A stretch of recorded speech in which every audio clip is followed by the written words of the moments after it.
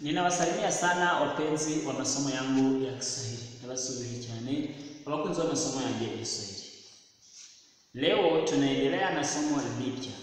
Uyu munsi turakomeje n'isomo rishya.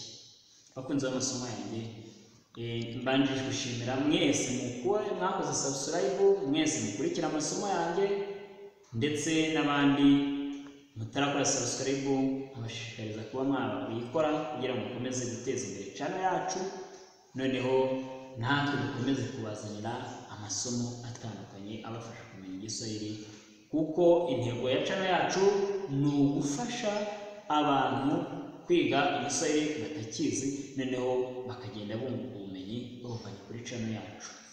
Kandi ndahamya ko uko muzakomeza gukurikirana ku isomo rizabagira akamaro turatangiye noneho tugiye kwiga isomo ry'uburyo umuntu ashobora kujya mu iduka hanyuma akabazamo ibicuruzwa bitandukanye noneho n'uko bamusubiza muri ibyo bicuruzwa tugiye kubireba mu giswahili turatangiye Cyusa na Bwiza wanaingia dukani. Cyusa na Bwiza binjiye mu iduka. Sasa mazungumzo vuga ibiganiro bigiye kuba. Mwenye duka, karibu ndugu, murakaza neza bavana. Hamjambo? Muraho? Hatujambo. Shikamo? Turaho. Muraho? Mwenye duka, marahaba. Nawe ararekeza. Mnataka kununua nini? Mshaka kugura iki?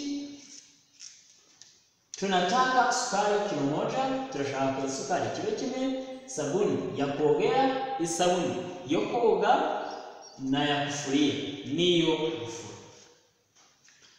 Sabuni hizi hapa, isabuni hizi hapa.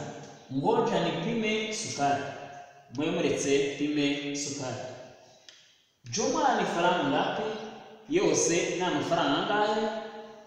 Jumla kwa vyote ni faranga elfu moja byose igikubo cyose cy'amafaranga ni igihumbi kimwe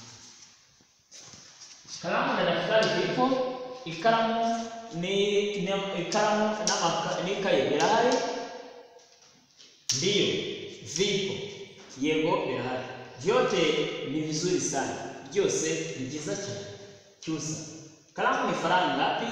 Ikaramu ni amafaranga angahe mwenye duka moja ni mia moja. Imwe ni amafaranga ijana daftari ni faranga ngapi? Ikaye ni amafaranga angahe moja ni mia tatu imwe ni magana atatu. Kilimo kilomo uh, chumvi unauza bei gani? Chumvi n'umunyu umunyu ugurisha igiciro kihe? Mwenye duka. Kilo moja ni faranga mia tatu. Ikiro kimwe ni amafaranga magana atatu. Bwiza. Nipe kilo moja. Ikiro kimwe nataka na viberiti ndashaka ni bibiriti mwenye duka unataka viberiti vingapi urashaka ibiriti bingahe nipe viberiti vitano viberiti vitano mwenye duka anaendelea. Viberiti vitano na kilo moja ya chumvi. Jumla ni faranga mia nne ibiriti bitanu n'ikiro kimwe cy'umunyu eh, byose eh, ni amafaranga magana ane. Mia nne magana ane. Bwiza asante urakoze. Hizi hapa fedha amafaranga ngaya. Mwenye duka asema naye asante. Nakoze murakoze urakoze. E, cyusa naye akasema asante. Nawe aravuga asante urakoze. Mbibutse ko iyo turi kuvuga nk'abantu benshi ngo urakoze tuvuga asanteni.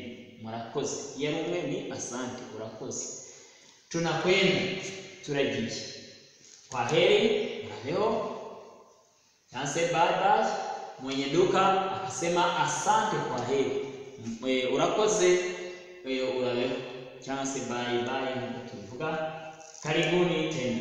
Arababwira ati muzagaruke ni karibu nanone nyine aha twabonyemo ko harimo amagambo nka sabuni isabuni sukari isukari kalamu ikaramu daftari ikaye cumvi umunyu viberiti nibiriti noneho iyo ari mu iyo ari ikibiriti kimwe tuvuga kiberiti ninawashukuru sana mbibutse gukora subscribe kandi mbibutse kujya mukomeza gukurikira amasomo yacu munakorere na share noneho munaduhe na comment kugira ngo tubashe kwakira inama muduhaye dukomeze kubigisha ibiswahili namwe mukomeza kudushyigikira.